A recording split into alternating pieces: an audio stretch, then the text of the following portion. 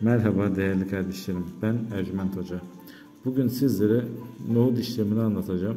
Nohut büyüsü yapıldığında kişilerin hakları bozulur ve birçok hakkı olumsuz olduğu için hiçbir iş rast gitmez. Ailevi olsun, işsel olsun. Bunun bozulması için yapılan bir işlemdir bu. Bu kağıdın üzerine adınızı, doğum tarihinizi ve anne isminizi yazıyorsunuz.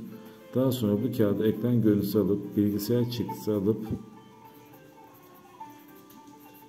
Evinizin etrafında bir yere toprağa gömüyorsunuz. 20-25 günlük bir süreçte her şey tamamıyla düzelecektir.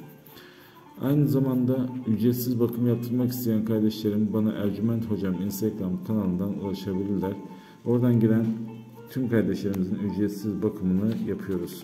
Tek şartımız bizi Instagram'da ve TikTok'ta takip etmeniz. Allah'a emanet olun.